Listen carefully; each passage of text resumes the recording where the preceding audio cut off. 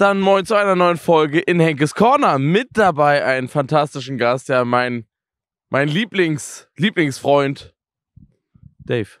Hallo. Dave, grüß dich. Geht's dir gut, Junge? Vielen Dank für die Einladung. Ja, mir geht's bestens. Ja? Endlich nochmal im Funkkosmos. Hallo, liebe Zuhörer. Nee, ich, will- ich liebe das ja wirklich. Also vielen Dank für die Einladung. Podcast sehr geil. Eh immer eine schöne Sache. Und hier in dieser Kulisse, es könnte ja nicht besser sein. Es ist wunderbar. Du hast es, du hast sie tatsächlich vorgeschlagen. Ich kenne ja, ich kenne mich ja hier fast gar nicht aus. Aber du hast ja gesagt, ey, wir fahren hier hin, hier ist geil. Mhm. Wir waren erst vorne am See, da war aber ordentlich Zucht drauf. Jetzt sind wir ein bisschen mehr in den Wald reingegangen und wir haben schon eine, eine fantastische Hütte. Zu dem Thema kommen wir auch noch. Ja, hier ist nämlich ordentlich was Bushcraft-mäßig passiert. Das ist ja mein Hauptthema. Ist gut, dass wir da noch zu kommen. Da, da, dafür stehe ich nämlich. Bushcraft, Bushcraft. Outdoor Survival. ja, ja, ist da genau bist du voll drin. Genau. Aber es sind auch noch was, was wir betüdeln, weil du da ja äh, eine nicht gerade unsignifikante Rolle gespielt hast. Also Dave, kurz zum Anfang. Du bist YouTuber, machst sehr viel tatsächlich Content, auf den man gut reacten kann. Ich hoffe, ja. Du bist ja, ich glaube, du bist das äh, dankbarste, was unter anderem äh, den Twitch-Streamern so in Deutschland passiert ist. Äh, aber bei dir finde ich sehr, sehr spannend von dem her. Ich meine, wir kennen uns ja auch schon eine Weile und Mhm. haben viel so drüber gequatscht, äh, woher du eigentlich entstammst, Mhm. so in dieser ganzen, in diesem ganzen Kosmos. Weil bei dir, wenn ich immer an dich denke, habe ich so das Gefühl, der Mann hat den Erfolg nach Rezept gemacht. So, dass du dir richtig, du bist Nach erst, Plan zumindest. genau, ja. genau, du bist Mhm. hinter die Kulissen zuerst Mhm. warst äh, in Managements unterwegs, in Berlin unter anderem. Genau. Und bist dann, yeah, Berlin. äh, warst dann Startup. konzeptionell im Hintergrund so unterwegs. Ja. Und äh, hast dann selber durchgestartet mit einem eigenen YouTube-Kanal. Du warst Jo. zwischendurch sogar selber Social Media Manager selbstständig, oder? Ja, das war so die einfachste Bezeichnung, um meinen Eltern zu sagen, dass ich gerade nicht weiß, wohin mit mir, wa warum ich nicht mehr bei der Firma in Berlin bin und äh, wo es jetzt weiter hingeht. Das war so die Zwischenphase zwischen genau diesem ersten Job, den du angesprochen hast, ähm, was zum Start ein Praktikum war in einem Management in Berlin ähm, von einem großen deutschen Fernsehsender, quasi ein Ableger, der sich um den ganzen Online-Kram gekümmert hat. Ja. Genau, und bin dann, wollte auf keinen Fall in Berlin bleiben. Ähm, Nee, wusste, das ich will auch keiner, Köln. der ein bisschen bei Verstand ist. Äh, genau. Äh, bin nach Köln gegangen und musste dann irgendwie eine Bezeichnung für mich selber finden, war dann selbstständiger Social Media Manager. In der Zeit ist aber nicht so viel passiert. Ich habe mal ein paar Fotos für äh, die Luca Pizza, die neben all den anderen tollen Tiefkühlpizzen äh, ne, Na klar. äh, existiert, habe ich da mal ein paar Bilder für die Rückseite gemacht und so und habe irgendwie einen Runner gemacht für Sachen äh, von der alten Firma aus Berlin, die es in Köln zu regeln gab. Also wenn die jemanden brauchten, der vor Ort in Köln irgendwie schnell was macht. Also warst du quasi so die, die, die Außenstation. Genau, ich war quasi so selbstständige Außenstation, aber wirklich ähm, in der Zeit wenig gemacht. Ja. Angefangen zu studieren und so weiter. Das Was hast du studiert? Medien- und Marketingmanagement, aber natürlich nicht zu Ende gemacht. Warum auch? ja, das war ähm, auf den Wunsch meiner, auf das Drängen meiner Eltern hin Ja. musste ich das tun. Ähm, bin dann glücklicherweise relativ schnell in das Vollzeit-YouTube-Ding reingekommen. Wie, wie kam das zustande? Ich hab dich quasi kennengelernt, da warst du schon in diesem Gespann mit Max. Richtig. Wie ist das entstanden? Das, weil das finde ich immer am spannendsten. Ich habe euch einmal besucht bei euch im, im Studio ganz kurz. Ich weiß gar nicht mehr aus welchem Mhm. Grund das war. Ich glaube, da waren wir Golf, habe ich irgendwie die Jacke bei dir liegen lassen. Und ähm, da habe ich wir gesehen, golfen? nach dem Golfen. Hört sich, das hört sich richtig scheiße Das an. hört sich wirklich an. waren Wir waren bei diesem Top-Golf-Ding. Ja, ja, Genau, da genau. habe ich meine äh, Jacke bei dem Auto liegen lassen und musste ich die abholen. Da war ich bei euch im Studio, da habe ich gesehen, wie ihr arbeitet. Und zwar sieht man euch gegenseitig in den Videos des anderen gar nicht mal so häufig. Genau. Aber äh, so in der Postproduktion quatscht ihr ja schon viel miteinander. Genau, also wir stimmen uns gegenseitig im Content des anderen ab. Mhm. Also Max fragt, hey, was könnte ich machen? Wo gibt's was zu verbessern? Andersrum genauso. Genau. Und ähm, das ist der große Vorteil und ich glaube auch der Grund, warum es bei uns jetzt so lange funktioniert. Wir sind halt mega gut befreundet und wir haben uns befreundet, angefreundet, bevor wir YouTube-Videos gemacht haben. Ja, also es ist glaube, das ist ein keine, keine Punkt. typische YouTube-Freundschaft. Hey, Nee. wow, ich habe eine Million Abonnenten, ja, ich auch. Lass mal zusammenziehen im YouTube-Haus und dann Ja. zusammen ins Büro und am Ende funktioniert's nicht, weil man mehr Arbeitskollege als tatsächlich echter Freund Ja, ist. und man, man, man merkt, der eine will mehr Kohle haben als der andere. Genau, oder, oder man macht ähnlichen Content, alle machen Gaming und dann, wer ist in der Aufnahme zuerst dran? Ja. Bei dem, bei dem die Leute zuerst dran sind, da sind alle noch frischer, sind und alle Oh, für besser wen drauf. nehmen wir jetzt auf Genau, vor allem? für wen nehmen wir jetzt auf? Ja, aber ich muss danach weg, aber ich habe doch mit dir aufgenommen und jetzt kann ich mit dem Ja. nicht mehr. Ähm, das ist der große Vorteil, wir kommen uns überhaupt nicht in die Quere. Das ist das, was ja total geil ist. Genau, ich habe überhaupt keinen Spaß am Kochen. Ja. Ich werde auch niemals in die Ko Kochrichtung gehen. Und Max hat überhaupt keinen Bock, mit dem Neoprenanzug in irgendeinen Teich, Tümpel zu steigen und Ja. irgendwelche Golfbälle rauszuholen.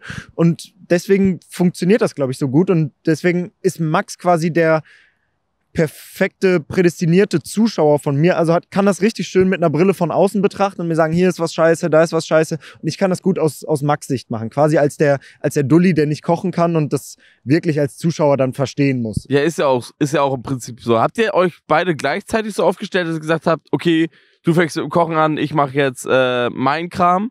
Ich, weiß gar nicht, wie ich deine. Da, da habe ich immer Schwierigkeiten mit, weil Ja. selbst richtig selbstexperimentell ist es ja nicht mehr. Genau, war es zum Anfang ein bisschen mehr, ist es mittlerweile nicht mehr. Wie würdest du deinen eigenen Kram definieren?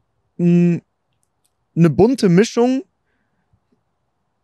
Content-focused, ohne bestimmtes Thema, häufig aber mit Thema Geldbezug. Ja. Ansonsten eigene Grenzen testen, Dinge ausprobieren, Dinge neu machen und das aus Sicht des Zuschauers. Und es ist grundsätzlich immer zielgerichtet. Genau, es, ist, es hat immer ein größeres Ziel, Ja. egal ob in einer Folge, über mehrere Folgen hinweg. Ähm, ich mag den Seriencharakter sehr gerne. Also wir probieren Themen zu finden, die wir gut in Serien packen können. Mhm. Ganz einfach, weil in vielen Bereichen ein 8-Minuten-Video nicht reicht, um ein Thema aufzumachen, die Basics zu erklären, Nee. dann in das Thema reinzustarten und dann ein größeres Ziel zu verfolgen. Da, da ist äh, erstens in Shortform-Content überhaupt kein Platz für, weswegen ich das nicht bespiele. Ich Ja. krieg meine Sachen nicht auf eine Minute runter. Wir haben es mehrfach probiert. Ähm, dann Ach, machst du gar nicht, gar nicht Shortform irgendwie. ganz, ganz wenig. Okay. Ich glaube, dass der Shortform-Content besser ist für Leute, die aus dem Stegreif witzige Clips, dies und das, ein, ein, ein schneller Trend. Aber wie will ich die Renovierung von einer Wohnung, was ich auf YouTube über acht Teile begleite, das sind insgesamt irgendwie zweieinhalb Stunden Content, die die Serie lang ist. Ja. Da brauche ich 60 Shorts, um das irgendwie vernünftig zu beschreiben. Um 60 Shorts zu machen, müsste ich wahrscheinlich zwei Monate durcharbeiten und dann würde der Hauptkanal Ich meine, du hast auch gewisserweise so die Einschränkung, sagen wir mal jetzt bei Reels, da hast du maximal, was war das bei Reels? Das glaube ich eine Minute 30, bei TikTok ist relativ locker und bei Genau. YouTube Shorts nur eine Minute. Genau. Ähm, da bist du ja sehr, sehr eingeschränkt. Ich glaube, bei, bei Max, wenn er da irgendwie seine, seine pfiffigen Rezepte macht, Mhm. so, da geht's relativ schnell. Der macht das irgendwie seine kleinen, seine kleinen Küchen-Lifehacks und sowas. Ja. Und der, der dreht die auch extra ab. Ich glaube, in so einer Situation habe ich es dann mal erwischt, weil ihn dann, wenn in der Moderation ein Wording war, sich nicht sicher und hat er dich nochmal extra gefragt. Ja. Und das ist so geil, weil das hat dann so, da hat man richtig die Dynamik gemerkt. Ich sag mal, ihr seid sowieso wahrscheinlich die, wo ich so mitbekomme. Ich Mhm. kann ja nicht bei allen so über die Schulter gucken oder kriegst ja nicht bei allen mit. Ich habe das Gefühl, bei euch, ihr seid die, die am mit am krassesten ackern. Ich glaube, das ist, ähm, Oder glaubst du, das ist nur so eine Außenwahrnehmung? ich, ich glaube, das ist eine Außenwahrnehmung, weil ich glaube, dass wirklich, wirklich viele Leute extrem arbeiten Ja, in diesem Bereich. ja, ja. also, ich glaube, ich glaube, es ist auch die, die Luft, also beziehungsweise, äh, wenn du das grundsätzliches Ding, wenn du ein Hobby zum Beruf gemacht hast und du Spaß an dem Ding hast, dann äh, fällt es dir schwerer, sich selber so Grenzen zu setzen. Punkt eins und Punkt zwei mit Sicherheit auch äh, ab dem Zeitpunkt, wo Verpflichtungen mit reinkommen. Also will man ein Team haben von mehreren Vollzeitangestellten, muss man sich im Klaren sein, dass man ab diesem Zeitpunkt Verantwortung für die Leute trägt Vollkommen. und auch für alles, was bei den Leuten dranhängt. Also hat jemand eine Freundin, eine Familie, einen Freund, was auch immer mit zu versorgen, der vielleicht in einem Studium ist oder Kinder oder irgendwas, dann ist kein äh, keine Zeit mehr, um rumzuspaßen, dann muss so viel Kohle dabei rumkommen, dass alle Mitarbeiter vernünftig, gut, dauerhaft, konstant bezahlt werden, ohne Ausfälle. Und ich, das war für mich so der Switch, als ich die ersten Leute bei mir ins Team geholt habe, dass ich dachte, oh wow, ich darf mir keine Pause mehr erlauben, was Ja. mit Sicherheit auch falsch ist. Ähm, ich darf mir keine Pause mehr erlauben, weil das muss jetzt funktionieren. Das kann sein, dass es in einem halben Jahr endet. Das kann sein, dass äh, die Leute das nicht mehr interessiert, dass ich krank werde, dass irgendwas ist. Und dann muss genug Puffer sein, ähm, damit verpflichte ich mich als Ja. Arbeitgeber, das den Leuten dauerhaft zu gewähren, was, was wir ausgemacht haben. Und ich glaube, dass das bei einigen Leuten noch mit reinspielt. Ey, Ähm, toi, toi, toi, dass, es, äh, dass da irgendwie nichts passiert oder dass irgendwas nicht in die Quere kommt oder so. Äh, aber so wie es aussieht, seid ihr alle gerade sehr solide dabei. Genau, ja. Das, äh, also ist mega cool, dass das ankommt, dass die Leute sehen, dass man viel Arbeit und viel Herzblut reinsteckt. Ähm, und es ist, es macht mehr Spaß als je zuvor. Ja. Man hat mehr Möglichkeiten ähm, und kann dieses Min-Maxen ist halt so geil. Wir, wir haben dieses YouTube-Ding für uns gefunden, Max schon vor vielen, vielen Jahren mit dem Minecraft-Ding, dann einen Mega-Switch zu dem Food-Kram geschafft. Ähm, Und das fand ich ja, das fand ich ja so krass bei Max, weil man, weil man sich so dachte, okay, dieses Gaming-Ding, dieses Minecraft-YouTuber-Ding, ja, er war ja dann auch quasi durch den Namen schon fast ans Spiel gebrandet mit, Mhm. mit Krancrafter. Und da war es ja so, ja, okay, wo ist der, wo ist der abgeblieben? Wo ist der hin? genau. Und dann ist ja irgendwie eure Konstellation so zustande gekommen und aus dem Nichts geht Max nochmal vollkommen ab mit Ja. einem mit einem 180 Grad Content Ja. Switch. Ich meine, wir gehen von wir reden hier von Gaming zu Kochen. genau. So, das ist ja das ist ja total unterschiedliche Genres, Ja. aber es hat funktioniert. genau. Das war das ist ja so das ist ja was total geiles und ich glaube, ihr beide seid gerade äh, ein Grund dafür, weswegen viele viele noch nicht dieses ganze YouTube-Game in Deutschland so, so richtig aufgegeben haben, weil einfach ihr der Grund seid, dass doch so viel passiert. Ja, aber man darf nicht Aber ihr vergessen. inspiriert ja auch. Ja, also vielen Dank. Aber man darf nicht vergessen, dass, das hören wir komischerweise häufiger, aber man darf nicht vergessen, die YouTube-Landschaft ist vielfältiger und hochqualitativer als jemals zuvor. Genau. Wir haben alle Streamer-Clips, Streamer-Events, was auch immer, mit auf YouTube. Das ist schon mal geisteskrank. Ja. Ähm, dann haben wir einen Tomato Licks, Simplicissimus, äh, die, super viele kleine Kanäle, die nachkommen, die richtig am Grinden sind.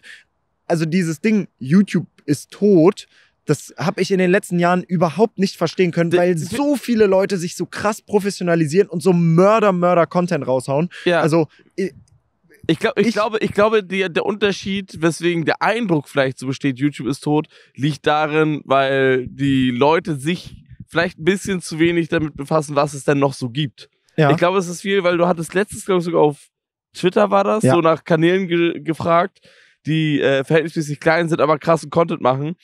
Und, äh, und da die- kam richtig viel bei rum. und, da, und das ist, ich habe beispielsweise dadurch habe ich äh, Dings gefunden, wie hieß er? Äh, der so Mode, Mode-Topics. Yoshi, Nee, Vincent. äh, ha Hamel? Was, Hamel? Ja, kann War sein. das bei dir? Ja, ja, ja, Hamel, ja, ja, Hamel. ja, ja. Auch, ich hab den gefunden. Ich dachte, mir, Digga, crazy geiler Content. Ja. Und, äh, Und du hast Meinungsblogger wie einen Vincent, die dazugekommen sind, mhm. die aus dem Stehgreif gefühlt, ne, so wirkt's in den Videos, ja. gesellschaftskritische, richtig gute Dinger machen. Dann hast du kreative, du hast wirklich in alle Richtungen Content. Ähm, und meines Erachtens nach lebt YouTube mehr als jemals zuvor. Vollkommen, ja. Und viele, die sagen, ja, YouTube ist tot, sind wahrscheinlich einfach acht Stunden am Tag auf Social Media. Und klar, irgendwann ist dieses Game erschöpft. Ähm, aber wenn du acht Stunden am Tag mit YouTube verbringst, ja. dann darf das auch irgendwann mal leer sein. Vielleicht, vielleicht ist es wirklich dann diese, diese, ähm, naja, diese, diese, dieser Eindruck, wenn man irgendwie das achte, achte Stream-Highlight-Video guckt und sich gar nicht weiter mit äh, irgendwie tieferem Content befasst, dass man, dass man sich denkt, ach, es gibt ja eigentlich gar nicht mehr so viel anderes, so wie es früher war. Aber du hattest halt früher nicht diesen, diesen großen Anteil Livestreamer. Mhm. Ich meine, das war, wann ist das so richtig gepoppt erst? So 2000, 18 vielleicht. ja, Wo so so richtig eigentlich. abging mit also ich habe YouTube. damals angefangen mit Twitch, war 2017. Mhm. Da war noch, da war das doch total nischig. Mhm. So, und jetzt ist es das ja so um, ja, ich würde sagen, so 2018, 2019 ist es erst so richtig gecrackt, dass die ganzen früheren Gaming-YouTuber alle auf Twitch gegangen Ja. sind und ihren Content sozusagen auf YouTube recyceln. Und, und man darf dabei auch nicht vergessen, auch wir sind in einer Bubble. Für Voll. uns, für uns existiert ein, ist ein Trimax, ein Papa Platte, ein Monte, ein Unsympathisch. Das sind die Größen. Das, das ist für die Zuschauerschaft zwischen 18 und 24, das sind die YouTuber. Ja. Ja. es gibt ja sonst nichts mehr. Dann hast du aber einen Viper D, einen iCrimex, einen Standard-Skill, die neben einem Paluten seit Jahren, Jahren, Jahren daily ein, anderthalb, zwei Videos rausballern und die komplette junge Zielgruppe abholen, die mega am Grinden Ist sind. abgefahren. Das ist komplett verrückt. Ich habe neulich mit äh, Vive geschrieben, Ja. dem gesagt, Alter, mega Props. Wie krass, dass du seit Jahren das so maintainen kannst, so einen Output hast, die ganze Zeit Content machst und wirklich Massen begeisterst. Also die, das Facettenreichtum auf YouTube ist riesengroß Ja. und ich glaube, dass viele Leute, wie du es gesagt hast, nur so einen winzig kleinen Teil sehen. Ja, eben, das ist, ich glaube, das Wort, das man in der Bubble steckt, oder dieser, dieser, dieser Tag, das man in der Bubble steckt, beschreibt es am besten. Weil ich hatte zum Beispiel, äh, wo du es gerade sagst, mit A Wife, die eine junge Zielgruppe so abgrasen, die wir gar nicht mehr so krass auf dem Schirm haben, weil es bei uns einfach nicht stattfindet und weil wir es selber auch nicht konsumieren. Und zwar kam ich letztens auf den, auf den Kanal, wo ich mich gefragt habe, was macht ein Fresh Torge eigentlich?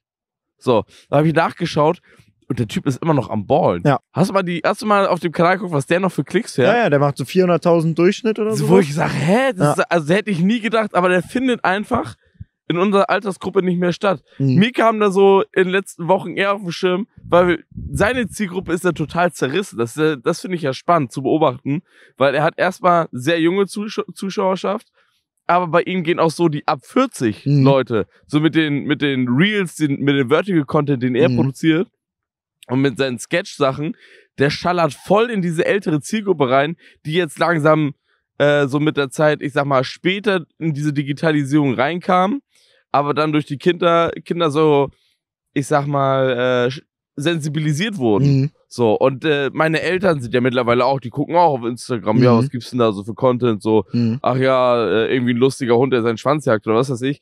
So, und dann, und dann hast du da, hast du da äh, Marianne, Marianne und äh, wie sie alle heißen von Fresh Torge, irgendwelche Sketchclips. Und äh, ich höre einfach nur, wie meine Mutter sich in der Küche scheckig lacht. Mhm. So, das ist halt so abgefahren, weil man sich dachte, ey, Fresh Torge, Mann, das habe ich so Längst vor, tot geglaubt. das habe ich vor für einen 13 selber. Jahren so Mhm. gefeiert. Ich so, ja, Fresh Torge, ey, der ist für mich Legende, Ja. weißt du? Weil das ist so, ähm, auch einfach, ich habe das Gefühl, früher war es auch noch viel regionaler gebunden, dass man so sagt, so, wir hatten, ich sag mal, wenn ich in Schleswig-Holstein so aufgewachsen bin, wir hatten so Hamburger Hänger, gab's so Fresh Torge, Gesundheit, und äh, sonst gab's gar nicht so viel bei uns. Mhm. So, da gab's doch später halt abge, abgekoppelt von Hamburger Hänger, natürlich so Alberto, Flying Uwe, ähm, dann Sheng äh, äh, etc. Und dann kam später noch Montana Black dazu, Mickey, die ganze Streamer-Bubble. So, das war, das hat so den, den norddeutschen Co Content Creator-Raum ausgemacht. Stimmt, und noch Felix von der Laden halt, äh, der Mhm. damals noch in Lübeck gewohnt hat. Und das war für uns dann so dieses, okay, krass, das sind so unsere Heroes. Und man hat dann natürlich vereinzelt noch so eine Cold Mirror mitbekommen. YTT, so die damals die großen, Mhm. die großen waren. So, ich erinnere mich noch zurück, als ein LeFloid ein, ein Video gemacht hat, hey, ich habe jetzt die 6000 Abonnenten erreicht und das war utopisch. Mhm. So. Und jetzt sind wir halt, äh, dass wir halt meinen, okay, ja, 100.000 ist jetzt gar nicht mal so viel. Mhm. Das, das, da hat sich einfach wahnsinnig viel gewandelt und daran merkt man ja auch, wie dieser Markt sich so immens entwickelt hat. Ja, und es gibt mehr Interesse aus alten, bestehenden Medien, irgendwie was von, von dem Social Media Teil abzubekommen. Creator, Serienproduktion, Live-Produktion, was auch immer. Aber müssen sie Also, ja auch. Genau, müssen sie auch. Ähm, und das ist cool. Das gibt mehr Möglichkeit, das gibt mehr Content. Ähm, wenn man sich die Dichte an Live-Events anguckt, die jetzt in den letzten zwölf Monaten passiert ist, Wahnsinn. das ist völlig verrückt. Das Ja. ist fast keine Besonderheit mehr, wenn ein Trimax ein Bundesstreamer-Spiele-Event macht. Das Ja. ist äh, völlig verrückt, wie viel Zeug es gibt. Und nochmal kurz zurück ähm, auf das, Max und ich arbeiten so viel. Ich glaube, das bekommt man vielleicht als du mit, der hier ist, Ja. ne, weil, weil, weil wir das so machen. Ähm, aber die Streamer, wie einen Kevin, wie einen Basti, wer auch immer, die sind acht Stunden am Tag live ist eigentlich, und- ja, das stimmt und auch, es, müssen parallel noch Podcast machen. Auch Basti muss seine Videos koordinieren. voll. Das ist so unglaublich viel Zeug, was sie machen. Ich bin neulich in seinen, in seinen Twitch-Chat gegangen, nur um das beantwortet zu bekommen. Wie machst du das? Wie sieht dein Tag Ja. aus? Und bei all diesen Leuten, die ich gerade aufgezählt habe, ist es so, aufstehen, frühstücken, arbeiten, arbeiten, arbeiten, essen, arbeiten, arbeiten, arbeiten, schlafen. Ja. Ähm, es gibt für einen Großteil der Leute, egal was du machst, egal ob Streaming, egal ob YouTube, bestimmt auch eine Menge Shorts-Leute, Mhm. bei denen das so ist. Es passiert nichts außer Content-Produktion in deren Leben.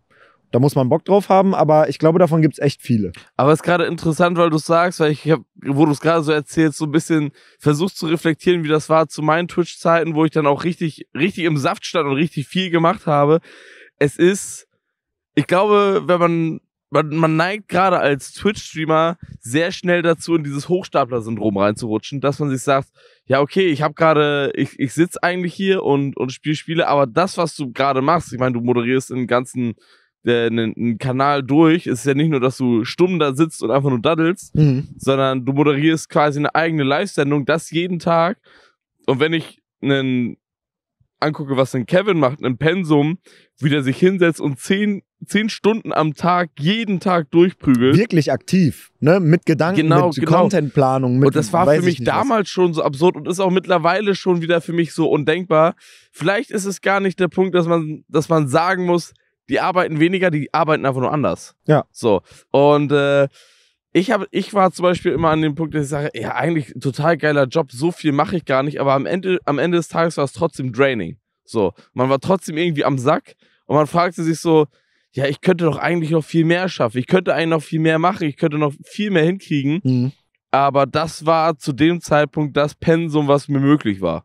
Ja. So, und ähm, wenn ich jetzt zum Beispiel hier diesen, diesen Podcast mache, und viele, viele mögen das gar nicht glauben, aber das, das meiste, was so YouTuber arbeiten oder Content Creator arbeiten, ist ja, äh, beziehungsweise das, der, der kleinste Teil davon ist das ja, was am Ende zu sehen ist, sondern es ist ja viel mehr noch der ganze Hintergrundscheiß. So, ich meine, wir müssen, klar, im Endeffekt, jeder muss so seine Steuern machen, aber es gibt noch so Projektkoordination. Äh, hier beispielsweise für, für die Corner muss ich Drehs planen, äh, im Optimalfall dann für die Zukunft, dass wir halt zu den, zu den jeweiligen Interviewpartnern oder, oder Interviewgästen halt in die Städte fahren, damit wir da nochmal so personalisiertere Spots finden können, um dort zu drehen. Äh, das ist ein riesiger, riesiger logistischer Aufwand. Auch hier mit dem ganzen Kram. Ich meine, wir schleppen hier so viel Scheiß mit uns rum. So, und das, das geht noch in der Verhältnismäßigkeit, gerade wie es jetzt ist. Aber wenn du es auf, auf so größere Produktionen rechnest, die immer am Rumtouren sind und immer, immer überall in verschiedenen Orten aufnehmen, ist das schon immens. Und wie sich diese ganze Szene auch so professionalisiert hat und wie viel Kohle da mittlerweile drin steckt, sehe ich jedes Mal oder denke ich mir jedes Mal, wie irre das eigentlich ist. Mhm. Beispiel, diese, diesen, so ein Illegaler Cup oder ein Trimax Box Event. Wenn du alleine, ich meine, wir, wir kriegen ja so ein bisschen die Insights, das ist ja jetzt nicht so unbedingt öffentlich oder teilweise äh, sprechen sie ja öffentlich drüber.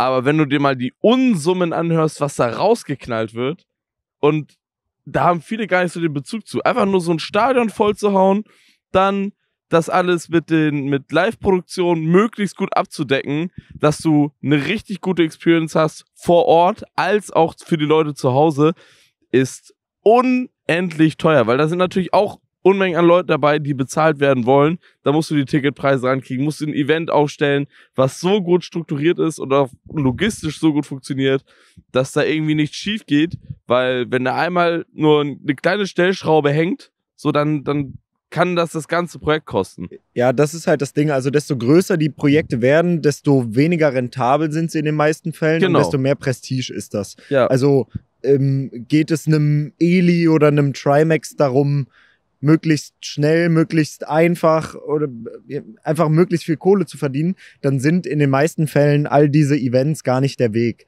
Ne, das ist vielmehr, um nicht. tatsächlich irgendwelche Specials für, für die Community zu schaffen. Ja. Ähm, äh, und genauso mit YouTube-Projekten und irgendwelchem Ding. Desto größer das wird, desto mehr man das min-maxen will, desto geiler der Content wird, desto weniger rentabel ist es. Du Und das brauchst mehr und Leute, das du brauchst verstehen ja Zeug. viele, verstehen ja viele gar nicht mal so unbedingt, weil äh, es, da gab es zu diesem Eli Geller Cup ja diese Diskussion, ich weiß nicht, ob du sie mitbekommen hast, wo es dann losging, da hatte sich ein Eli in einem Stream drüber echauffiert oder, oder drüber geredet, dass manche Managements ankamen und sagen, ja, die Creator, die man eingeladen hat für diesen Eli Geller Cup, da fangen die Managements jetzt an zu fordern, ja, wir wollen hier erste Klasse und wir wollen Gagen haben und so weiter und so fort.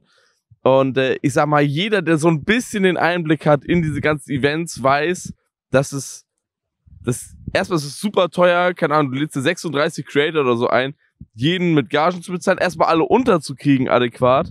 So, jeden Hotelzimmer. So, das bist ja dann im Endeffekt schon bei, bei alleine, wenn du es doch ganz entspannt rechnest, locker bei 40, 50.000 Flocken, du einfach nur für die ganze, für die ganze Truppe ausgibst, damit die alle da übernachten können und essen können und Also, alles. also ich habe diesen Clip jetzt nicht mitbekommen. Was ich aber sagen muss, was ich unheimlich nice finde, ist, dass, dass das in der Szene so läuft oder dass es alles noch ohne Gagen läuft. ja, ja, eben. Will ich auf einen Sonntag, an dem ich vielleicht sonst einfach nur im Büro rumgesessen hätte vorm Rechner, habe ich da Lust, bisschen Sport zu machen, ein bisschen vor der Kamera zu stehen, dann fahre ich halt zum Bundesstreamer-Event. Mir ist klar, dass das äh, kein riesen Cash-Grab von irgendeinem der Leute ist. Ja. Ich kann mir einen schönen Tag machen, da zu dem Event gehen. Genauso beim Eligella Cup. Willst du dabei sein, komm dahin. Willst du nicht dabei sein, komm nicht dahin. Ich bin froh, wenn es auf dieser Ebene bleibt und nicht überall unter Kollegen bei verschiedenen Projekten irgendwelche Gagen gefordert werden. Das macht das alles deutlich weniger entspannt und lässt das so TV-ig werden. Also ich liebe das, dass alles ganz entspannt, komm dahin oder nicht und dann sei vor der Kamera oder nicht so läuft und, und das irgendwie entspannt Und das, ist. das liebe ich noch gerade an dem Stand, in dem wir gerade sind mit dieser Szene, ist auch, was ich halt äh, gerade auch erfahre, dadurch, dass wir jetzt halt diese Corner produzieren. Ich meine, äh, müsste ich drüber reden, so ist es jetzt Rundfunk finanziert, äh, aber nichtsdestotrotz finde ich es immer so schön zu sehen, dass das Content Creator, die ich hier einlade, wie beispielsweise du, ähm, auch einfach wir beim Aufbau so, so mithelfen, obwohl sie nicht müssten. So, weißt du, du, du stellst dich auch hin, stellst dir die Kamera auf, wo ich mir einfach so, ey, wie, wie nice ist es eigentlich, dass man noch so eigentlich kollegial unterwegs ist und sich sagt, ja, warum, warum sollte ich da nicht einfach mithelfen? Und das ist auch das, genau die gleiche Dynamik wie beispielsweise bei diesen Events, bei dem, was ein Trimax macht, bei dem, was ein, was ein Illegaler macht. Ja, ein Kumpel oder, oder ein guter Kollege fragt halt, hey, willst du da mitmachen? Ja, gar keine Frage, natürlich, klar. So, Genau. weil das halt auch einfach geil ist. Natürlich ist es dann in der Messen, wenn du jetzt zum Beispiel sagst, hey, wir machen das große, das Streamer Eiskunstlaufen, würde ich auch sagen, ja, weiß ich nicht, ob ich da jetzt unbedingt so Lust drauf habe. Aber wenn's, wenn du, wenn du halt Punkte hast, so Aktivitäten, die werden gestreamt, für die Leute draußen ist es geiler Content, für dich ist es ein cooler Tag und du triffst dich, weil jeder sich mal die Zeit nimmt, wie so ein kleines Klassentreffen und deswegen freue ich mich auch immer über die Gamescom. Das, die Veranstaltung an sich ist mir eigentlich relativ bums. So. Aber dass jeder sich mal die Zeit nimmt, auf diese Aftershow-Partys zu gehen oder sich mal irgendwie äh, die Zeit nimmt, wenigstens eine Woche im Jahr, dass alle in einer Stadt sich irgendwie befinden und dass man sich irgendwie sieht, sei es auf, sei es auf Partys, sei es in irgendwelchen äh, äh, Logen, wo, wo dann die Creator alle rumhängen Oder einfach Das auf der ist- Messe. oder auf der Messe an sich. So, das ist halt einfach geil, weil man, man läuft sich über den Weg. Klar, man quatscht mit jedem mal so ein, zwei Minuten. Aber alleine, dass man sich gesehen hat, das hält diese ganze, diesen ganzen Laden, der sich so deutscher Internet-YouTube-Kosmos nennt, hält den irgendwie zusammen. Und ich finde die Dynamik einfach super schön, weil alle, es sind so unterschiedliche, verschiedene Charaktere. Ich meine, du hast einen anderen Background als ich. Wir machen total unterschiedliche Sachen. Aber trotzdem versteht man sich durch diesen einen gemeinsamen Nenner Social Media. Und das ist voll geil. Mhm. So. Und äh, keine Ahnung, ich kenn, wir, wir kennen uns jetzt auch irgendwie seit, keine Ahnung, gerade mal zwei, drei Jahren. So, aber ich, ich liebe das total gerne und auch seitdem ich in Köln bin, wir sehen uns auch gar nicht so häufig, aber jedes Mal ist es halt geil. Genau. Weil jeder halt so seinen Kram macht und jeder hat seinen Kram zu tun.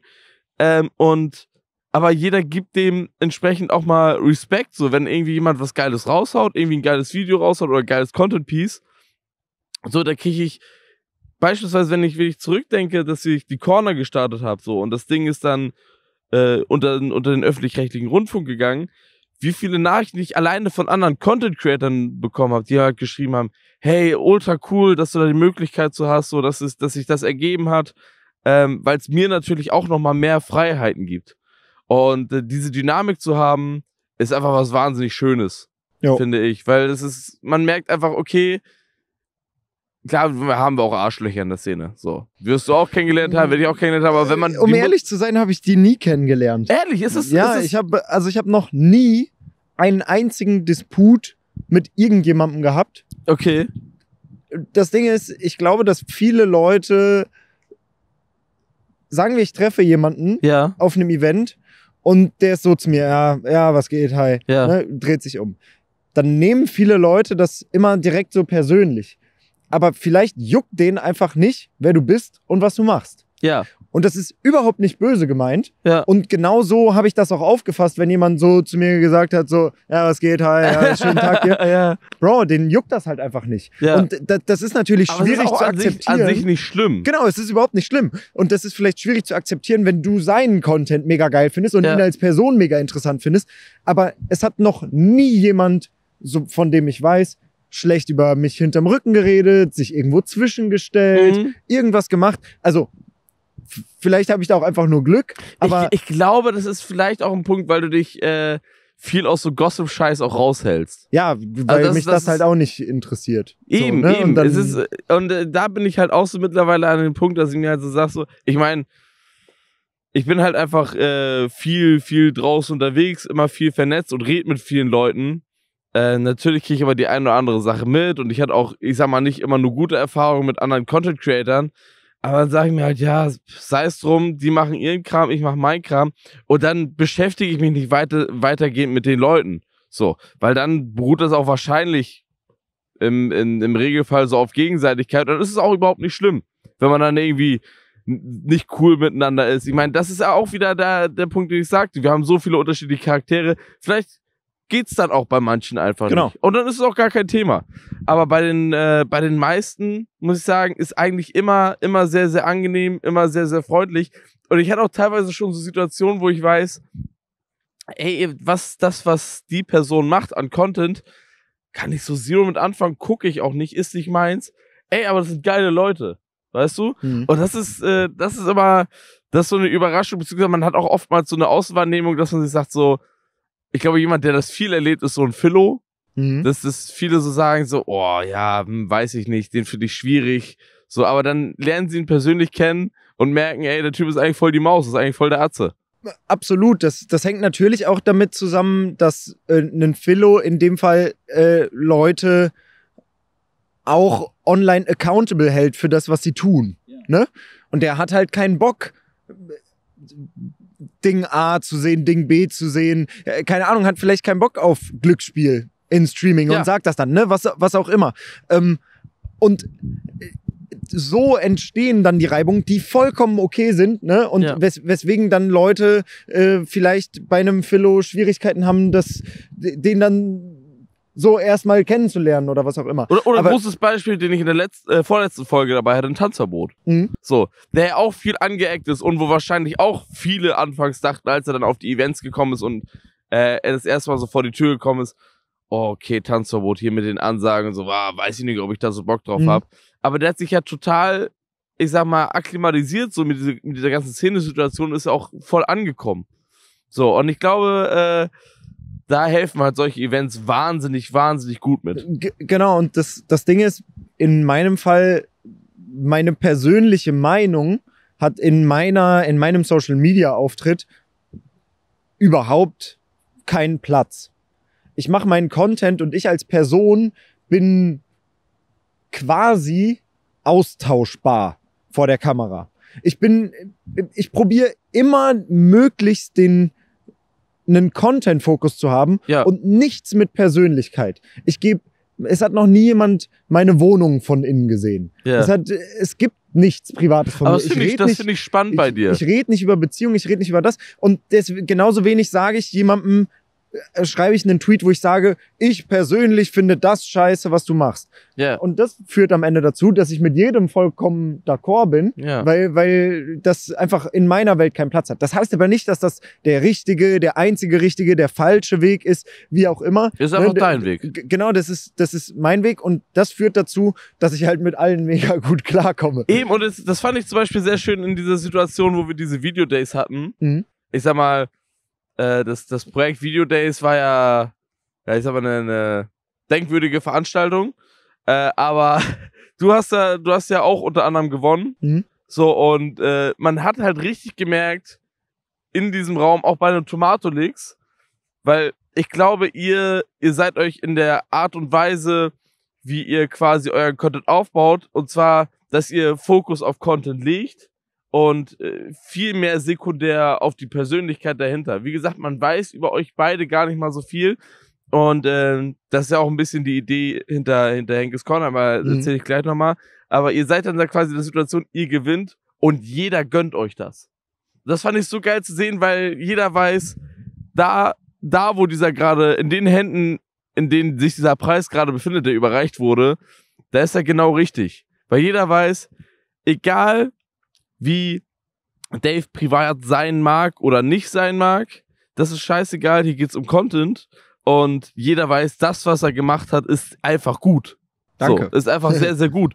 Und das finde ich einfach so eine elegante Art und Weise, wie ihr quasi immer damit, damit umgeht, mit Öffentlichkeit. Ähm, Es ist zumindest sehr stressfrei.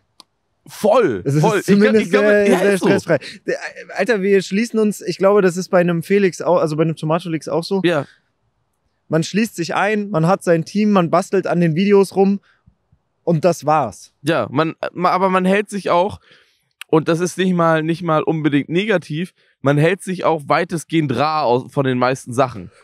Ja, und das ist nicht mal, weil man sich rar halten will, sondern weil man ähm, nicht die Persönlichkeit ist, die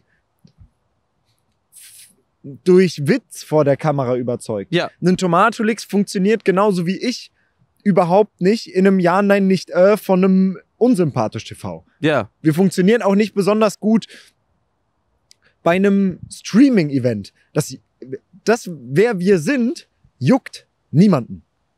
Das juckt Ja. niemanden. Der, der Content juckt Leute, aber wir als Personen sind völlig scheißegal für die Leute. Und das ist die, der, der, der perfekte Spot, in dem ich und ein paar andere Leute auch noch sind. Alter, wir gehen auf die Straße und das juckt niemanden, dass wir da sind. Da läuft einer und sagt, ey, geile Videos, ja, danke, vielen Dank. Gehst feiern, kommt einer, stößt an und sagt, ey, ich feier, was machst du? Ja, vielen Dank. Das passiert an einem Abend, wo ich rausgehe, dreimal. ja. Und das ist, keiner will ein Foto. Die aber sagen, mei- aber die meinst du, sagen das ist ein, Frage, meinst du, das ist so ein Köln-Ding, weil einfach die Leute hier so, weil das, das, das erlebe ich auch. Die Leute sind einfach used to it, dass hier so viele Influencer rumrennen und ist es in anderen, erlebst du es in anderen Städten anders? ich erlebe es in anderen Städten anders, aber gehe ich mit einem Kevin raus, ne? Ja, Den, den feiern die Leute. Kevin überzeugt, der ist halt einfach ein übelst geiler Typ. ja. Und der überzeugt mit Persönlichkeit. Der ist acht Stunden live, der kann gar keine Maske anhaben. Also der, nee, das der, geht der, nicht. Über der, den Zeitraum geht's Ge- nicht. Genau, nein. der, der, der muss real sein. Das bedeutet, die Leute, die den treffen, wissen, weil sie 500 Stunden Papa Platte konsumiert haben, das ist ein geiler Typ und ich vertrete irgendwie dieselben Werte, Ja. treffen den und denken, Alter, wie geil, dass ich den getroffen habe, machen ein Foto, ich will das irgendwie festhalten. Das passiert bei mir alle sieben Pfingsten. Ach, ehrlich? Ist Ja, das, ist, das, das ich juckt hätte bei niemanden. dir tatsächlich mehr gedacht. Nee, also Ich das klar erkennt, wird man erkannt, aber das, Ja, das, das, das juckt niemanden. Und das ist das perfekte Ding, weil da wirst du gar nicht auf die Person reduziert oder das, was du denkst oder was du machst, sondern die Leute sagen, ja, geiler Content, ja, vielen Dank. Äh, Also du war's. wirst auf das, du wirst quasi auf das äh, runter, runtergebrochen, was dir tatsächlich am wichtigsten ist an der Resonanz. Und zwar nicht so von wegen, sagen wir, ach, du siehst, du bist so ein geiler Typ oder äh, Genau. du siehst so toll aus, sondern es ist, du, das, was du machst, ist sehr, sehr gut. Genau, das Video So. ist cool. Die zehn Minuten, die du gemacht hast, waren gute Idee, gut geschnitten, gut gedingst, das macht mir Spaß. Vielen Dank, guter Content. Ja. Perfekt, das ist das Einzige, was ich brauche. So, und das, das führt halt dazu, dass ich ähm, das, die Leute, bei denen das so ist, überhaupt keinen Personenhype haben. Das bedeutet auch überhaupt gar nicht die Einschränkungen haben, Ja. die Leute haben, die mit Persönlichkeit überzeugen. Wie einen Kevin, der nicht feiern gehen kann, ohne dass der irgendwie beobachtet wird oder dass viele Leute den ansprechen oder was das auch erlebe immer. ich halt, ich meine, ich bin jetzt mit Kevin schon seit, seit gefühlt über sieben Jahren unterwegs. So, äh, das erlebe ich halt immer häufiger und ist auch, ich sag mal, in den, in den letzten Jahren natürlich mit wachsender Prominenz immer heftiger geworden. Vielen Dank. Und äh, das, dass die Leute auch teilweise einfach überhaupt nicht aware sind, so für die Situation, wenn man einfach mal, keine Ahnung, man sitzt im Meckes, so hat noch irgendwie einen halben Ketchup im Gesicht hängen. So, und die Leute laufen halt, laufen halt so an einem vorbei, weißt du? Wo man sagt so, Hm. Ah, Jungs, also ich, ich check, ihr versucht das möglichst so, unauf, so unauffällig zu gestalten, aber man, man bekommt da teilweise schon so einen Blick für und das fühlt sich dann auch immer so ein bisschen befremdlich an. Ja, wo aber ich, aber pass auf, wo Ja. ich mich dann immer so, wo ich mir selber dann sage, hey, willst du das überhaupt? Willst du dieses, dieses Level an Prominenz? Und ich sag mal, bei einem Kevin geht's verhältnismäßig noch, aber wenn ich zurückdenke an den Simon Unger, als er noch in Deutschland gewohnt hat und auch seine Dreadlocks hatte, da kann man nicht sagen, der, der ist nicht aufgefallen. Hm. So, und Simon Unge ist voll aufgefallen. Oder ein Montana Black oder was weiß ich. So, und äh, in dem die Prominenz in der Größe stelle ich mir stellenweise wirklich, wirklich anstrengend vor. Ja, mit Sicherheit. Ich bin auch äh, extrem froh, dass es nicht so ist. Und Ja. auf der anderen Seite muss man natürlich auch denken, jeder Einzelne, der den trifft, das juckt den nicht, ob Kevin gerade schlecht drauf ist. Die, die Leute haben 500 Stunden Papa Platte Content geguckt und das ist dann der eine Moment, wo die einmal in ihrem Leben den treffen. Ja. Die, die, da ist die Gewichtung von, wie wichtig ist das Treffen für, jetzt mal Kevin als Beispiel raus, ich nenne ihn die ganze Zeit, wie wichtig ist das für die Person aus dem Internet in dem Moment und wie wichtig ist es für den Zuschauer, Mhm. der sich über Jahre und weiß ich nicht was mit der Person identifiziert und da, da kann man es den Leuten auch nicht übel nehmen, Schwer dass sie, auf jeden oder, Fall, ja. oder schwer übel nehmen, dass sie echt gucken und echt geflasht sind oder weiß ich nicht was ist. Das hat alles seine Grenzen, keine ja, Frage. Ne? ja, Aber, ja, klar, klar, ähm, klar. Das ist einfach, was ich gut verstehen kann, weil ich selber in der Situation bin, Mhm. wenn ich jemanden sehe, den ich richtig krank abfeier. Ja. ne? Das ist einfach cool, ja, ist auch, so ist auch jemanden dann mal zu sehen, Ja, ne, den man safe, lange safe. Und verfolgt ich versuche dann in solchen Situationen, ich sag, bei mir kommt es nicht so häufig vor, machen wir uns nichts vor, aber äh, wenn, wenn ich in so einer Situation bin, versuche ich auch immer, egal was, ob mich gerade irgendwas nervt oder ob mich gerade irgendwas bedrückt, ich versuche immer nett, möglichst nett zu den Leuten zu sein, weil ich sage, hey, guck mal, durch diese Menschen ist es mir möglich, das zu machen, was ich machen kann. Und äh, die sehen mich jetzt, haben jetzt einmal äh, sind sie in der Situation, dass sie mich zufällig irgendwo getroffen haben. Und dann will ich auch einfach, dass sie den bestmöglichen Eindruck haben. An sich ist es mir relativ rille, ob, ob mich jetzt einer mag oder ob einer mich jemand nicht mag, aber jemand, der mir schon vom Grundsatz her aufgrund dessen, wie die Außenwahrnehmung ist, mir schon wohlgesonnen ist, war, den, den will ich dann jetzt nicht abfacken. Da will ich jetzt nicht sagen so, ah ja, nee, komm, geh mal weiter oder sowas. Sondern da sage ich, ey, äh, da, da freue ich mich drüber. Oder das holt mich vielleicht sogar aus dieser, aus so einer, ich sag mal, äh, aus einem genervten Gedanken wieder raus, dass ich jetzt sage so, ey, ja, es, ja, ist eigentlich, eigentlich ist doch alles gut, eigentlich ist doch alles gar nicht so schlimm, weil es gibt immer noch so viele Leute, die respektieren und feiern, was du machst und, äh, und, und kulten das irgendwie hoch und finden das cool. Und äh, ich, ich sag mir dann, ja, dann, ey, der sieht mich einmal, komm, machen Genau. wir, das, das tut mir jetzt nicht weh, mal äh, kurz mit dem zu quatschen. Und dann Und- nimmt man sich auch gerne die Zeit. Und das Ding ist, du kann, man kann natürlich auch übelst in solchen Situationen durch das eigene Auftreten kontrollieren, wie entspannt die Situation ist. Also bist du einfach normal, wie du halt bist, denkst nicht, okay, ich bin jetzt der Influencer und der will ein Foto oder keine Ahnung was, ne? Ja. Bist du wirklich einfach normal zu denen, sagst, ey Jungs, was geht, ne? Quatscht kurz mit denen, einfach im Vorbeigehen.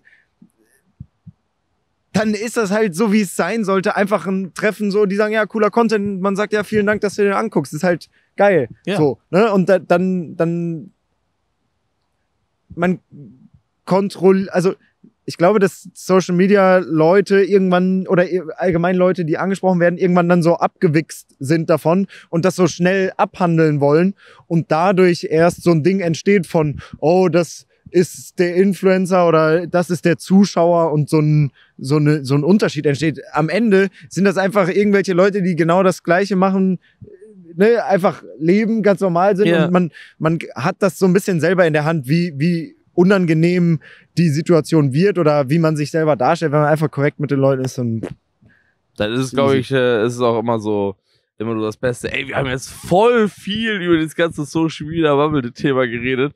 Und äh, gar nicht, komm gar nicht hier richtig zum Ziel, äh, so, so dich mal im, im Gesamten so zu beleuchten. Ähm, was war eigentlich so, und damit wir das auch noch mal ein bisschen abholen, was war eigentlich noch so weitestgehend so dein Background? Weiß man überhaupt so, wie viel weiß man eigentlich über dich? Man weiß echt Ach, nicht so viel, oder? Ja, ich, ein bisschen was habe ich schon erzählt. Ich komme aus einer relativ kleinen Stadt zwischen Köln und Frankfurt, aus Siegen, Siegen, aus dem Siegerland. aus dem Siegerland. das ist jetzt nicht Nicht, weiter. nicht quasi spannend normal aufgewachsen. Ge- einfach. Genau, ganz normal aufgewachsen, dann nach Berlin gegangen, dann nach Köln. Immer der Traum gewesen, jetzt mega happy in Köln und jetzt mache ich halt dieses. Kannst du, kannst du dir vorstellen, äh, in, in Köln noch zu bleiben oder willst Ja. du noch irgendwo anders hingehen? Ich, ich kann mir vorstellen, irgendwann, wenn ich Familie gründe, vielleicht ein bisschen weiter in den Süden von Deutschland Echt eher südlich? gehen. Ja, eher südlich.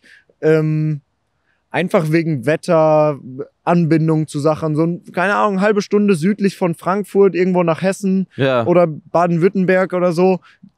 Richtig schönes Allmann-Spießerleben mit ein paar mehr Sonnenstunden als hier oben. Das kann ich mir vorstellen, aber ich bin mega happy in Köln. Ich habe keine Pläne wegzugehen. Wie lange bist du überhaupt schon hier? Seit 2018, also fünf oder 2019, vier Jahre jetzt. Boah, krass. Ja, So, das geht, das geht eigentlich. Und du bist dann direkt von, von Berlin hierher. Genau. Geil. Ja. Ja, Und das, ultra, äh, ultra krass. halt Aber du hast also. Abitur alles ganz normal gemacht, ne? Abi gemacht, Studium abgebrochen und jetzt, ja, ja, Ja, ja. Lebenslauf. Und jetzt YouTube-Videos. Warte, du hattest doch. Warte, war das, war das bei dir?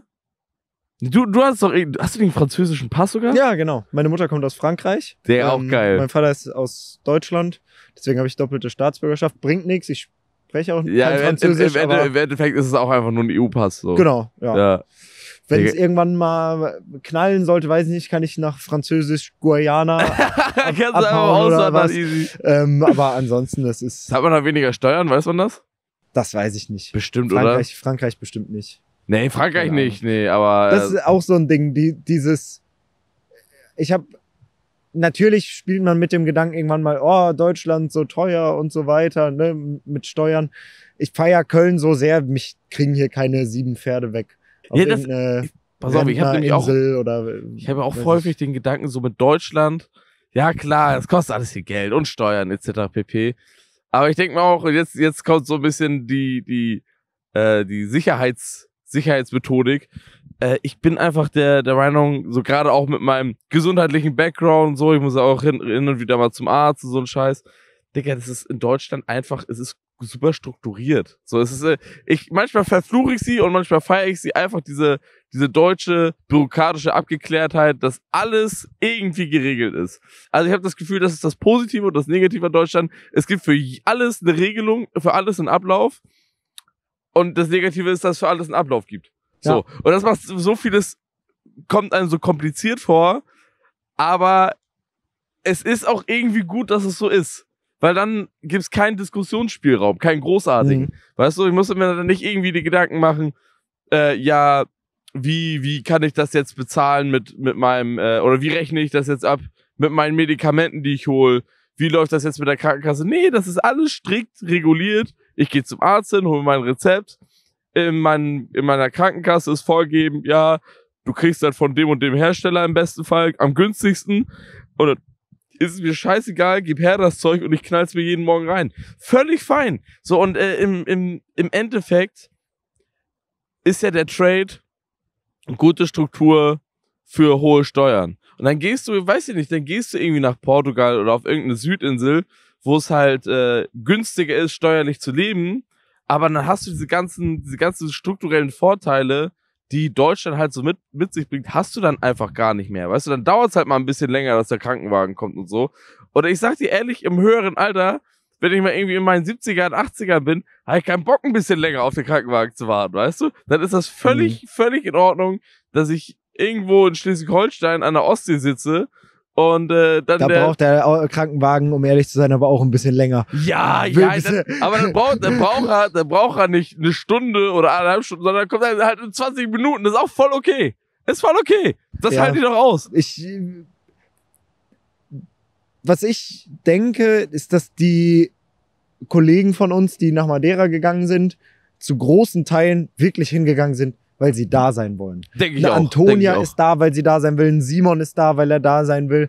Ähm, die wollen einfach auf der Insel sein. Die haben halt keinen Bock auf Deutschland. Für, die- für Ja. die war das viel weniger eine Entscheidung wegen, wegen Steuern und so. Aber für mich ist es trotz der Steuer auf jeden Fall eine aktive Entscheidung, in Deutschland zu bleiben, weil ich Köln einfach übelst Guck mal, feier. für mich, für mich war ja, als ich in meinem Stream-Game war und habe ich das erste Mal Simon besucht Mhm. auf, auf Madeira, das erste, erste und einzige Mal. Und da war ja auch so ein bisschen die Idee, weil wir so drüber gequatscht hatten, so, ey, vielleicht gehst du auch mal rüber oder, oder probierst das aus dort.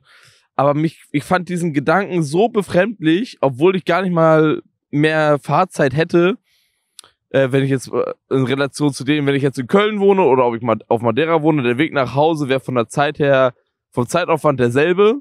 So, aber dieser Gedanke daran, nicht, ich sag mal, kontinental oder, oder vom, vom Festland her mit meiner, mit meinem Zuhause, mit Lübeck verbunden zu sein, fand ich so befremdlich und so komisch, einfach auf dieser Insel zu hocken und ich weiß, ich kann das Ding entweder mit einem Boot oder mit einem Flugzeug verlassen. Ich kann aber jetzt nicht auf eine Autofa Autobahn, äh, Autobahn einfach fahren und nach Hause picheln. Das geht nicht. Das war ich so eigenartig, dass ich mir halt gesagt habe, nee, ich habe keinen Bock hier zu sein. Also ich habe keinen Bock über längere Zeit damit zu sein. Ist eine wahnsinnig schöne Insel, ist auch cool da irgendwie. Aber dann, äh, sag mir, nee. Ich will, ich will die, meine Umgebung haben. Ich gehe raus, so. Jetzt irgendwie kurz weirder Take, aber alle um mich rum sprechen Deutsch, so. Und ich verstehe alles, was um mich rum passiert. Und ich kann die Straßenschilder alle lesen. Und ich bin halt einfach eine kleine Gewohnheitssau und ich finde das geil. Mhm. So. Und das, da bin ich völlig d'accord mit dann zu sagen, nee, komm, bleiben wir in Good Old Germany. Das ist doch geil hier. Ja, eigentlich das- ist, eigentlich ist doch geil hier. Genau, ich finde das auch super. Ist doch, ist eigentlich witzig. Bald in paar Tagen ist der 11.11., dann Oh fängt die Gott. Stadt auch wieder Da an gehe ich ins. Exil. Ja, Ja. gar keinen Bock. ist einfach, ich bin auch kein großer Karnevalsfan und ich trinke auch keinen Alkohol mehr. Ehrlich nicht? Hast du aufgehört? Mhm, Hab aufgehört. Stark. Ja. Und, also, aufgehört, das hört jetzt so an, als wäre ich so Also süchtig gewesen. Nein, nein, ne? nein, aber ich sag mal, das ist nicht mehr. Ich äh, trinke einfach nicht mehr. Also, also wirklich 0, Niente. 0, Oder auch mal zum. Anlass. Nein, nein, nein. Vielleicht. Also ich, das ist jetzt erst anderthalb Monate, aber Ja. mir geht's besser denn je. Deswegen habe ich gesagt, okay, ich fange auch einfach erstmal nicht wieder an. Ja. Ähm, sogar so, dass ich keinen Vic Medi-Night oder welche anderen tollen Medikamente es alle gibt, in denen irgendwie Alkoholgehalt drin ist, dass ich das auch nicht nehmen würde. Also Ach, krass. strikt Zero. Geil. Ja. Ey, dann bist du, wir sind in einem Team jetzt. Genau, und ähm, äh, deswegen ist der 11.11. für mich jetzt auch kein mega Highlight, aber da fängt die Stadt halt an zu leben, alles wird Okay, bunt und die Leute, die Leute geil. sind gut drauf. Ähm, das ist einfach, das ist einfach was Feines hier in Köln. Äh, pass auf, das finde ich jetzt auch wieder geil, weil wir auch bald wieder die Zeit haben. Digga, Weihnachtsmärkte. Genau. Junge, wie geil sind denn Weihnachtsmärkte? Ja. Das ist doch das, das, ist doch das Geilste Wochen, an der deutschen Kultur, dass wir Weihnachtsmärkte haben, Digga. Zwei Wochen, dann geht das auch wieder los. Oh, ich, ja. ist auch, Also ist eine gute ja, Start- November, ist ja wirklich so- soweit Genau. wieder. Man startet jetzt in noch so richtig schöne zwei Wintermonate rein und danach geht's ab in die Untiefen der Januar- und Februar-Depression. Oh, ey, das wird rein. richtig scheiße. Ja. Ähm, Okay. Aber jetzt erstmal die nächsten beiden Monate sind ja noch ein absoluter Traum. Bruder Dave, pass auf. Oh. Wir kommen zum Ende, allmählich, leider. Ja, Wir sind alle traurig. Aber es kommt das Cornerbuch. okay. Ja, das ist das Freundebuch Ja. für alle, die in der Corner waren. Äh, und das gehen wir jetzt durch. Hast du Bock? Ja, unbedingt. Also, Name David. David Henrichs. Du hast sogar noch einen zweiten Namen, ne? Friedrich. Friedrich. so geil, ey. Spitzname Dave. Richtig? So nennt man dich am besten Dave oder David, oder? Dave, ja. Ist, es- warte mal, ist es David oder David? David. David. David. Wie aus der Bibel. David. Wann hast du David, Geburtstag? qu'est-ce que tu fais? Das hat meine Mutter immer David. gerufen. Mais David. wann, äh, wann hast du Geburtstag, Dave? Am 4.3.1999. Das ist das. Ist das Stier? Nee, Fisch. Fisch. Ah, okay, krass. Was ist dein, was ist dein Lieblingsgetränk? Club Mate. Neben all den anderen Maten. Ich piep so einfach, lecker, ich piep einfach das sind. davor raus, sag einfach nur, dass du Mate gerne trinkst. Aber es ist wichtig, welche. Okay, okay. Ah, okay. Okay, krass, krass. Ähm, hast du eine Lieblingsbeleidigung? Nee. Finde ich alles gut. man, so, man so die Antwort erwartet, so, nee, also ich beleidige gar nicht. Oh, nee, geht alles durch. Alles, alles super. Aber hast du was, wo, ich sag mal, aus der Gewohnheit am schnellsten, was am schnellsten rauskommt? Ja, aber das sind Sachen, die, bei denen ich auf, die, auf, ja, bei denen, die sollte ich eigentlich nicht mehr sagen. okay. ne? Also so Sachen wie Spaß oder keine Ja. Ahnung was, ne? Das ist so drin, weil ich das mal in der Schule, ohne irgendwie ne, dafür sensibilisiert zu sein, jahrelang gesagt habe, sowas äh, rutscht als schnell am, am schnellsten raus, aber das ist halt nicht. so, so behindert sagen, wenn es Ja, etwas genau. negativ Ja, ja, konnotiert ist genau. und sowas. Ja, verstehe ich, verstehe ich, verstehe ich. Was ist dein geheimes Talent, was keiner weiß? Ach, äh, mein, das wurde ich schon öfter gefragt, deswegen, ich habe es schon diverse Male gezeigt, aber ich kann unheimlich gut knacken. Alles Knacken? knacken, ja. Warte, ich zeig's. Okay, zeig. Oh! Ah, na, es war nicht so gut, ich habe heute schon. Aber Ja. ich kann alles. Alle Finger, alle Beine. In alle Arme, Himmelsrichtungen. Nacken. Genau. Digga, das ist geil. Was war beim Chiropraktiker oder so ein Scheiß? Äh, ja. Digga, ich würde das voll gerne machen. Kann man Ja, das in Köln machen? Ja, natürlich. Boah, Bruder, Überall. muss ich mal empfehlen. Was war dir mal richtig unangenehm? Kann in, äh, in YouTube-Sicht sein, kann auch ein kleiner Schwank aus der Jugend sein.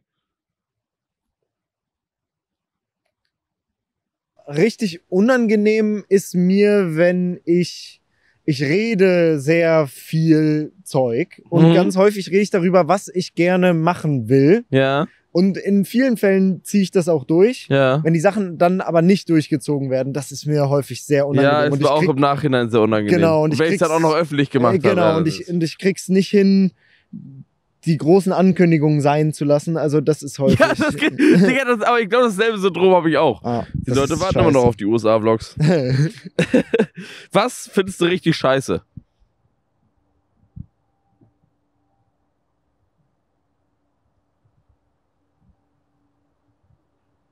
Wir sind noch da, keine Sorge, ich überlege nur. Für alle, die das Video nicht sehen. Ähm, richtig scheiße. Was nervt dich so richtig? Kann auch Boah, präsent sein, kann, kann etwas Gesellschaftliches sein, kann etwas. Äh, ich fühle mich so ausgeglichen in letzter Zeit, das ist kein Witz. ey, du bist der Mir pure das, Frieden. Ja, mir ist das alles, alles, was ich nicht feier, ist mir einfach egal. Aber ich Okay, reg mich da so nicht drüber auf. verstehe ich. Verstehe. Ja, finde ich Ich auch. habe ich hab so nichts, was ich so richtig scheiße finde. Ich denke dann immer so, ja, irgendjemand anders findet das halt geil. Ja, So, dann ist das halt für die, das ist einfach nicht für mich. das ist so deren Problem. ja. Ja. genau. Ja. Habe ich nichts mehr. Ich, Was, findest, was findest du denn richtig geil gerade?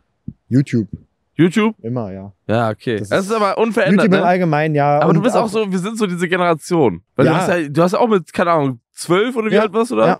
So richtig. Und, ich, und Fortnite finde ich auch richtig geil. Fortnite gerade? Immer. Ehrlich, immer? Ja. Du zockst immer Fortnite? Ja. Digga, geil. Max auch. Max ist der beste Fortnite-Spieler. Ehrlich jetzt? Mhm. Digga, Max geht seid ihr zu ab. zweit immer unterwegs? Nee, Squads. Jeden Oh. Abend. Geisteskrank.